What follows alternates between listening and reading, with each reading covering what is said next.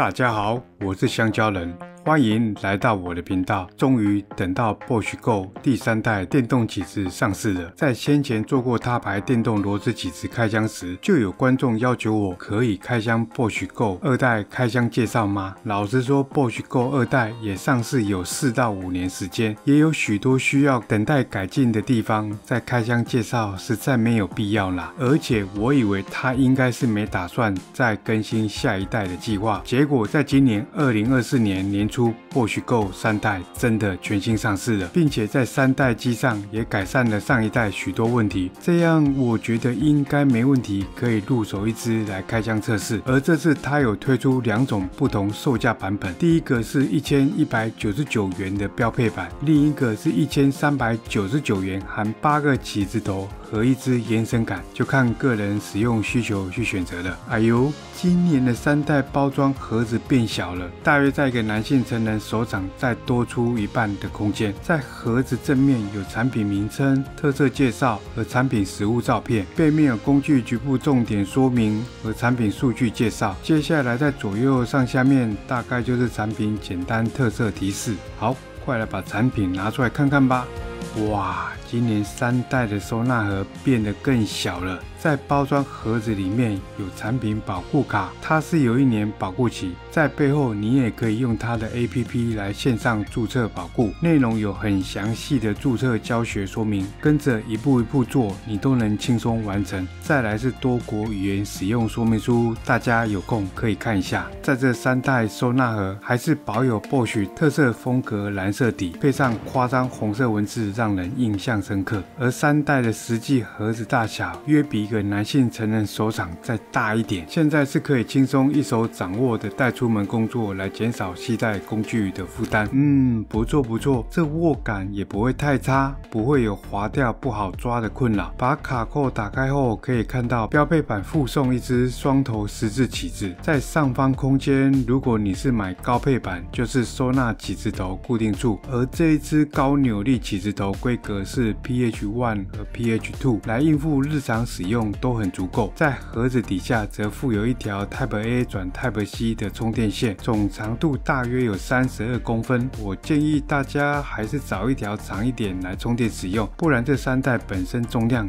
也不算轻，挂在那里也蛮容易掉下来的。在盒盖上方有贴心附上简易图文使用说明，应该大家照图片操作一次，就大概会使用这三代电动起子。再来是 Bosch Go 三代电动起子介绍，整只握感非常的好，指滑效果也非常的足够。该注意到手握人体工学一点都没有少，但我总觉得好像比二代重了一点。我大约测量一下三代电动起子的重量，整体重量大约有三百二十一公克，是真的扎扎实实比二代重了一点。而在三代的夹头是改用通用起子固定座，只要向前推，再放入起子头就能牢牢。固定住，它会这样修改，是因为在二代磁力头固定，只要转螺丝扭力过大卡紧，就很容易把起子头一起拉起掉落，相当不方便也扰人。但看似完美的修改，我又发现一个问题：如果你是先把起子头插入固定座，再拉卡扣，是很容易触发它前端按压启动开关，让它转动起来。所以这一方面问题，可能要靠自己熟练习惯，先拉动夹。头固定后，再插上几子头，就能完美克服这问题。在前端处，三代终于加上 LED 环形照明灯，这也是我第一个会想买它的原因。老实说，这么大一只电动起子，常常会挡到锁螺丝的光线，多了这个 LED 环形灯，真的大大改善这不便问题。那至于它的照明效果又如何呢？我觉得是够用啦。在黑暗无光的电脑主机里，要照明找寻螺是位置。来拆解或是锁紧都十分好用，使用起来也十分精准，让你轻松完成工作，不用再一手拿手机开手电筒找位置，再一手锁螺丝的不便问题。那它的扭力环调节也是和二代一样，有七加一个 Max 档，最大扭力有五牛顿米，最小是零点一牛顿米，用来锁电子零件就不用再怕锁到爆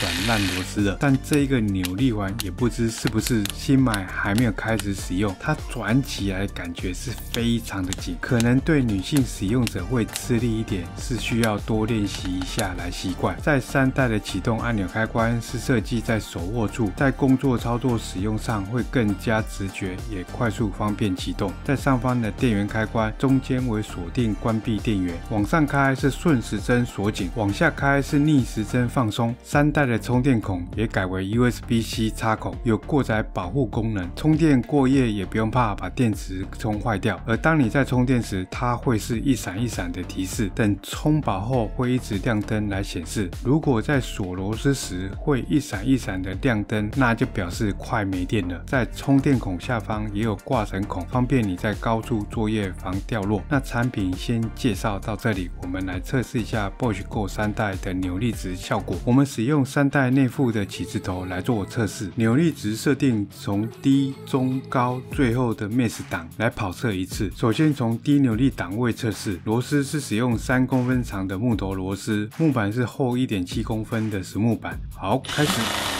最后大约转入零点七公分左右。再来是中扭力档位，我们调到第四档来测试。好，开始。哇，我的妈呀，在第四档位就差不多可以把三公分长的木头螺丝完成九点五层。接着是第七档位来测试，我感觉这一档位可能会把木头钻到爆的机会很大哦。好，开始。哇，没错，已经入木一层深度左右，也已经开裂，连带也影响到隔壁四档位孔也一起开裂。最后是 Max 档位测试，不知道会不会裂得更夸张。好，开始。嗯，感觉也还好，就比第七档位强了那么一点点，还没有到失控的感觉。那经过这一轮扭力值的测试，我觉得从第四档位过后是适合水电金属设备安装施工，力道够强，不软弱。从一到三档位适合电脑设备和木头家具组装，力道适中，比较不会把螺丝转乱和木板开裂问题。那以上是我对 Bosch Go 三代电动起子测试心得，但我。也必须再提醒大家一下，我是用我组装电脑和在家 DIY 维修经验来测试分享，我也不是专业的水电师傅。如有不对的地方，请在下面留言指教。那至于我会不会推荐大家购买 Bosch Go 三代吗？我倒是很想知道大家自己在家 DIY 维修功力是如何。因为 Bosch Go 三代已经接近专业人士在使用的电动起子。例如在几次测试中，我忘了把高扭力调低，就直接上手锁螺丝测试，最后在尾数超强扭力完全从我手掌心脱离，它有如一支电动按摩棒，一直转啊转。想办法要钻到最深处一样。如果你是想硬碰硬死抓着，那可能就换成螺丝十字纹会被转到崩牙烂掉。所以在开始使用前，一定要再三确认你的扭力值设定。再来是它全新设计的通用夹头，做的真的有点太长一点。起子头插上后，只能露出六到七成的长度，要锁定位置可能不是很好看清楚。而且最麻烦是你要替换起子头，它的夹头扣环再往前推，就又占了快一半的空间。这时要把起子头拉起来替换，真的没有什么施力点可抓，有点吃力不讨好。真的累死人了，所以建议还是搭配延伸杆，或是买长一点起子头来搭配使用，就不会遇到我说的尴尬问题。那今天的影片就到这里，如果你有使用过 Bosch Go 二代或是三代的心得要分享，都欢迎在下面留言告诉我，也请多多帮我按赞、分享和订阅，让我可以更快一点达到十万订阅奖牌。我是香蕉人，那我们下期影片见啦！